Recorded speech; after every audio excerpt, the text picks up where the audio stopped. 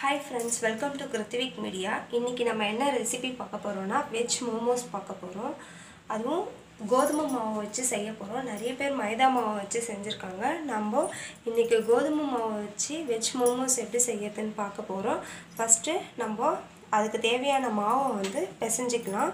நான் ஒரு கப் அளவுக்கு மாவு கோதுமை மாவு எடுத்திருக்கேன். இப்போது இதில் தேவையான அளவு சால்ட் ஆட் பண்ணிக்கணும். கொஞ்சம் கொஞ்சமாக தண்ணி விட்டு பிசைஞ்சுக்கோங்க.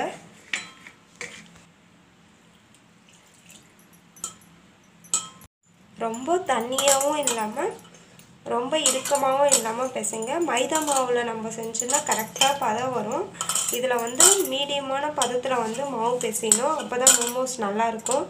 சப்போஸ் உங்களுக்கு ரொம்ப ஹார்டாக இருக்கிற மாதிரி இருந்ததுன்னா சுகர் ஆட் பண்ணிக்கோங்க. இல்லைன்னா தயிர் பால் அந்த மாதிரி ஏதாச்சும் ஆட் பண்ணிங்கன்னா உங்களுக்கு வந்து நல்லா சாஃப்ட்னஸ் கொடுக்கும். நான் வெறும் தண்ணி மட்டும்தான் ஆட் பண்ணி இது பண் பிசைகிறேன் மாவு பிசைகிறேன் இந்த மாதிரி மாவு பிசைஞ்சு வச்சுக்கோங்க. எதுக்காக ரொம்ப தண்ணியாக இருக்கக்கூடாதுன்னு சொல்கிறேன்னா ரொம்ப அந்த மாதிரி இருந்ததுன்னா உங்களுக்கு வந்து மோமோஸ் வந்து ஒரு மாதிரி பிரிஞ்சாப்பில் இருக்கும். ஹார்டாக இருந்ததுன்னா அந்த கோதுமை மாவு வந்து நம்மளுக்கு சாப்பிடும்போது ரொம்ப ஹார்டாக தெரியும். அதே மைதா மாவில் வந்து நம்ம அதை ஃபீல் பண்ண மாட்டோம். கோதுமை மாவுன்றதால நம்ம மாவு மட்டும் கரெக்டான பதத்தில் வந்து பிசைஞ்சாலே மோமோஸ் சூப்பராக வரும். அதனால் இதே மாதிரி பிசைங்கிறத பாருங்கள் இந்த மா இந்த மாதிரி பதத்துக்கு பிசைஞ்சிக்கோங்க. பத்து நிமிஷம் அப்படியே இருக்கட்டும். ரெட் காட்டன் டவல் போட்டு க்ளோஸ் பண்ணி வச்சுடுங்க. நம்ம அந்த கேப்பில் மோமோஸ்க்கான ஸ்டஃபிங் ரெடி பண்ணிடலாம். இப்போ ஸ்டஃபிங்க்கு தேவையான பொருள் பார்க்கலாம் ஒரு வெங்காயத்தை பொடிசாக நறுக்கி வச்சுருக்கிறேன். நெக்ஸ்ட்டு ஒரு பச்சை மிளகாவை பொடிசாக நறுக்கி எடுத்துக்கோங்க. மூணு பல் பூண்டை இந்த மாதிரி நறுக்கி எடுத்துக்கோங்க. ஒரு கேரட்டை இந்த மாதிரி பொடிசாக நறுக்கி எடுத்துக்கோங்க. ஒரு பீஸ் முட்டைக்கோஸ் எடுத்திருக்கேன். முட்டைக்கோஸை இந்த மாதிரி நல்லா பொடிசாக கட் பண்ணி வச்சுக்கோங்க. பெப்பர் பெப்பர் தூள் எடுத்திருக்கேன். உங்கள்கிட்ட பெப்பர் தூள் நெக்ஸ்ட்டு பெப்பர் தூள் எடுத்திருக்கேன். சோயா சாஸு ஒரு ஸ்பூன் அளவுக்கு மஞ்சத்தூள் எடுத்துக்க போகிறேன் தேவையான அளவு சால்ட் எடுத்துக்கோங்க. இப்போ தாளிப்பு பார்க்கலாம் வாங்க. ஒரு பாத்திரத்தில் ஒரு ஸ்பூன் அளவுக்கு எண்ணெய் விட்டுருக்கேன். எண்ணெய் நல்லா காஞ்சதுக்கப்புறம் நறுக்கி வச்சுருக்கேன். பச்சை மிளகாய் பூண்டை வந்து சேர்த்துக்கோங்க.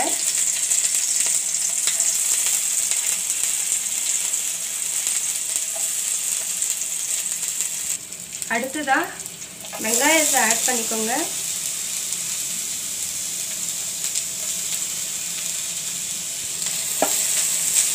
இதை நல்லா வதக்கிக்கோங்க. கேரட்டை சேர்த்துக்கோங்க. முட்டைக்கோசையும் சேர்த்துக்கோங்க.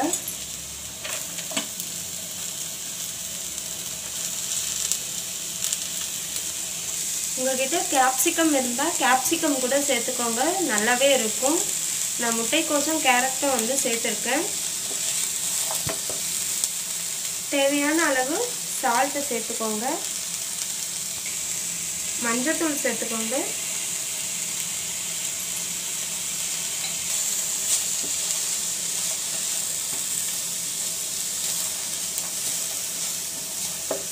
நல்லா இதில் ஒரு பாதி அளவுக்கு வந்து இது வந்து குக் ஆகணும். இப்போது நான் ஒரு டீஸ்பூன் அளவுக்கு பெப்பர் தூள் சேர்த்துருக்கேன். நல்லா பாதி அளவுக்கு வெந்ததுக்கப்புறம் ஒரு டீஸ்பூன் அளவுக்கு சோயா சாஸ் விட்டுக்கோங்க. சில்லி சாஸ் இருந்தாலும் சில்லி சாஸ் சேர்த்துக்கோங்க. நம்மளுடைய ஸ்டஃபிங் ரெடி ஆகிடுச்சு இப்போ ஸ்டவ் ஆஃப் பண்ணிக்கலாம். இந்த மாதிரி மாவை இந்த சைஸ்க்கு உருட்டி எடுத்துக்கோங்க. அடுத்து சப்பாத்தி கட்டையில் இந்த மாதிரி எண்ணெய் நல்லா தடவிக்கோங்க. இதுக்கு மாவு யூஸ் பண்ணாதீங்க. ஆயில் யூஸ் பண்ணுங்க. எண்ணெயை நல்லா ஸ்ப்ரெட் பண்ணிக்கோங்க இந்த மாதிரி. அடுத்து இந்த மாதிரி திரட்டிக்கோங்க. உங்களுக்கு சப்போஸ் தனித்தனியாக திரட்டுறது வந்து உங்களுக்கு கஷ்டமாக இருந்தால் மொத்த மாவையும் இதுலேயே வச்சு இந்த பூரிக்கட்டை சைஸ் அளவுக்கு நீங்கள் திரட்டிட்டு ஒரு பாத்திரத்தை வச்சு இந்த மாதிரி ரவுண்ட் ரவுண்டாக எடுத்துக்கலாம் நீங்கள் அதுவும் ஈஸியாக இருக்கும் உங்களுக்கு. அவ்வளோ இந்த மாதிரி திரட்டிக்கோங்க. இப்போது இதில் ஸ்டஃபிங் வைக்கலாம் நம்ம. ஸ்டஃபிங்கை செ சென்டரில் வைங்க. இந்த ஸ்டஃபிங்கில் உங்களுக்கு சுகர் வேணும்னா கூட ஆட் பண்ணிக்கலாம்.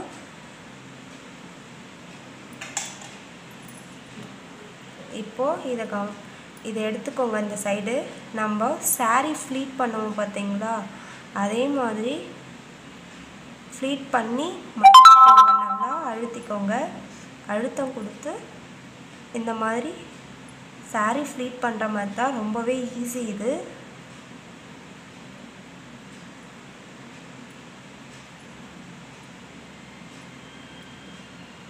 இப்போ இந்த சைடு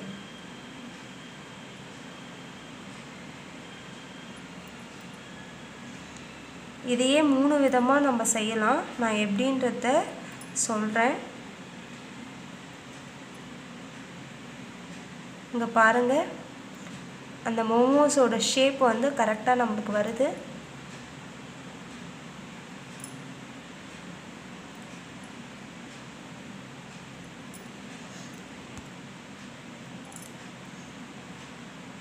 எவ்வளோ அழகாக இருக்கு பாருங்கள் நம்மளுடைய சூப்பரான மோமோ வந்து ரெடி ஆகிடுச்சு பாருங்கள்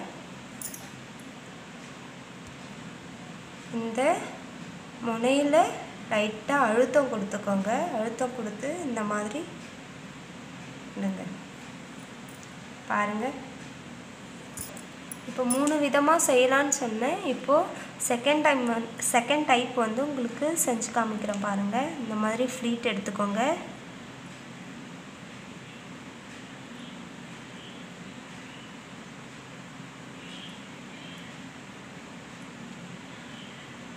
எடுத்துட்டு இந்த சைடை அப்படி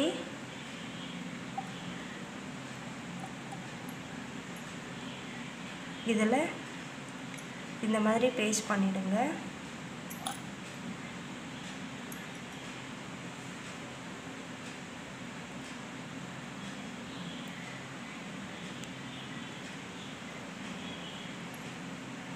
அழகாக இருக்குது பாரு.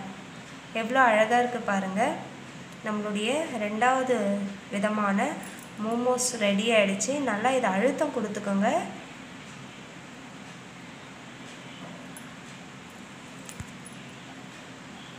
இப்போ தேர்ட் டைப் பார்க்கலாம். இதே மாதிரி இந்த ஓரத்துலேருந்து ஃப்ளீட் எடுத்துக்கோங்க.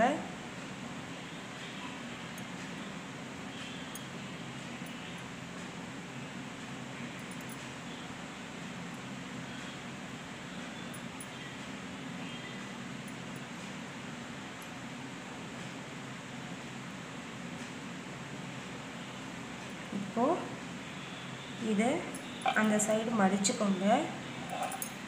மடிச்சுட்டு இதுக்கு நல்லா அழுத்தம் கொடுத்தோங்க சப்போஸ் உங்களுக்கு அழுத்தம் கொடுத்தும் பிரி பிரிஞ்சு வர மாதிரி இருந்தால் நீங்கள் லைட்டாக வாட்டரை வந்து இந்த சைடு வந்து தடவிக்கோங்க.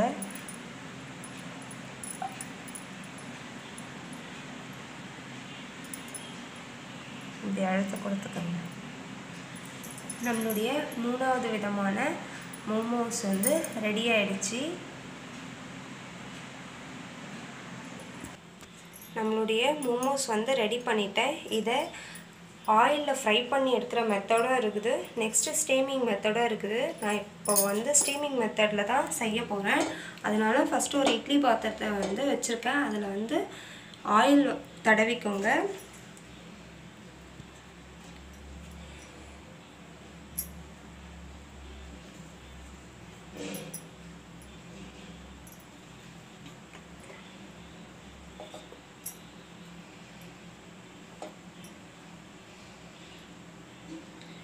இந்த மாதிரி வச்சுட்டு ஒரு பத்துலேருந்து ஒரு பதினஞ்சு நிமிஷம் நல்லா வேகட்டும். வெந்ததுக்கப்புறம் எடுத்து பார்க்கலாம். நான் ஆயிலில் ஃப்ரை பண்ணுறத வந்து நான்வெஜ் வச்சு செய்யும்போது நான் உங்களுக்கு செஞ்சு காமிக்கிறேன்.